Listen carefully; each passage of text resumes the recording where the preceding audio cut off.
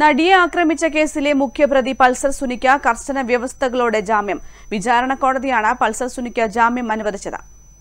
എറണാകുളം ജില്ല വിട്ടുപോകരുത് മാധ്യമങ്ങളോട് സംസാരിക്കരുത് സാക്ഷികളെ സ്വാധീനിക്കരുത് ഒരു സിമ്മിൽ കൂടുതൽ ഉപയോഗിക്കരുത്. സിം വിവരങ്ങൾ കോടതിയിൽ ഹാജരാക്കണം. ഒരു ലക്ഷം രൂപയുടെ ബോണ്ട് നൽകണം തുടങ്ങിയ വ്യവസ്ഥകളോടെയാണ് പൾസർ സുനിക്ക് വിചാരണ കോടതി ജാമ്യം അനുവദിച്ചത്. സുനിക്ക് അമ്മയെ കാണാനും കോടതി അനുമതി നൽകി. പൾസർ സുനിയുടെ ജീവന് ഭീഷണിയുണ്ടെന്ന് പ്രോസിക്യൂഷൻ ചൂണ്ടിക്കാട്ടിയിരുന്നു. ഇതിന്റെ അടിസ്ഥാനത്തിൽ സുനിയുടെ സുരക്ഷ എറണാകുളം റൂറൽ പോലീസ് ഉറപ്പാക്കണമെന്ന് കോടതി നിർദ്ദേശിച്ചു. കേസിൽ കഴിഞ്ഞ ദിവസമാണ് സുപ്രീം കോടതി പൾസർ സുനിക്ക് ജാമ്യം അനുവദിച്ചത്. വിചാരണ കോടതി നടപടികളെ സുപ്രീം കോടതി രൂക്ഷമായ ഭാഷയിൽ വിമർശിച്ചിരുന്നു.